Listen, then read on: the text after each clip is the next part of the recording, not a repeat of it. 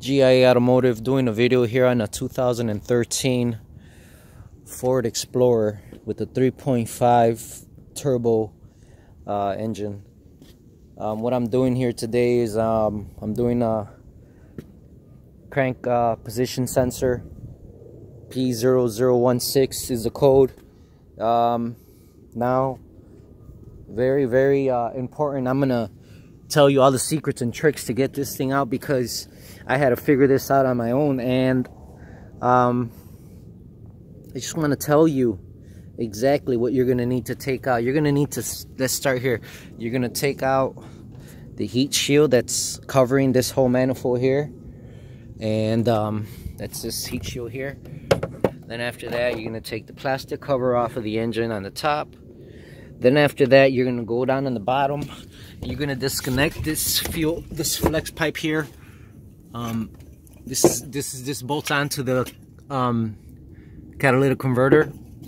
Then you're gonna take out all the oxygen sensors that are connected to the catalytic converter disconnect them the one on the top that can stay in place and the one on the bottom you need to um, remove to access the bolt that is right there.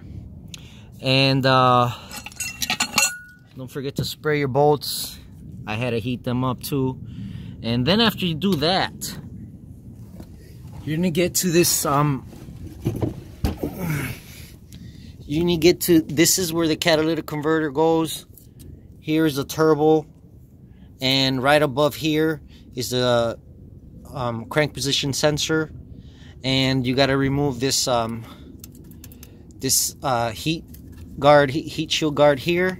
And then covering here is a rubber boot. It's over here. There's that one over there. And then once you remove that boot, you still got to be good and slick to remove this plug. You got just enough room to push down on the tab and pull out with the same hand you're pushing down on. There's no, there's literally no room. And then um, for the bolts here, it's a 15 millimeter. For the ones up on the top by the catalytic converter, is a 15 millimeter with a swivel. Um, 15, 15 gear wrench, shorty, and a long one will help you. And um, then once you do that, this this sucker here, it was so. Uh, difficult to get out. And then I was worried that once I got this screw out, it was gonna fall into the the housing of the the transmission. This thing sits like this in there. And then um, I was worried that this screw was gonna come out, but it actually stays in place. It stays in there. But the new sensor does not come like that. The new sensor has a screw out and once you put the sensor back in there you're gonna have a good time. I'm already anticipating what a pain in the ass it's gonna be to line up that bolt. But um, the tricky thing about it is that Ford switched around the size of the bolts because they don't want you to fucking figure it out, man. And this is so stupid how everything was eight millimeter, eight millimeter, and out of nowhere, it's a it's a 930 seconds for this one here. So be ready for that because these guys they um they want you to come go to the dealership but yeah um, this is a video because um, I seen there was nothing there was nothing no information um, to get this thing out. And and um, you might be able to squeeze it out without removing this but I just removed it because there's it's just so much easier.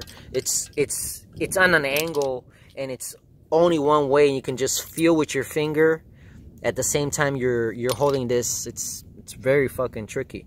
You gotta you gotta hold and feel for the for the nut for the head of the nut and then you put it on there and you start turning it everything was very challenging from the bolts here the angle on this one this one here was just just um rusty and seized up i needed to heat it up but um yeah be prepared this is a 2013 Ford Explorer 3.5 with the turbo. All right, crank position sensor. There you go. Um, catalytic converter on the front has to come out. 25 years of experience. Give me a call if you got any work for me. Servicing Berwyn, Cicero, Stickney, Lyons, um, North Riverside. Today I'm in Lemont. I'll come on out to Bolingbrook, Naperville, anywhere else if it's worth my time.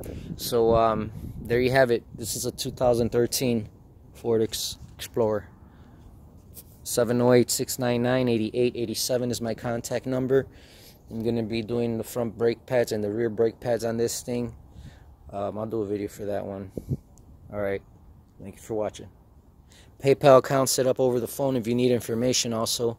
Um, advice over the phone. Give me a call if you are stuck and you need some help. Alright, thanks.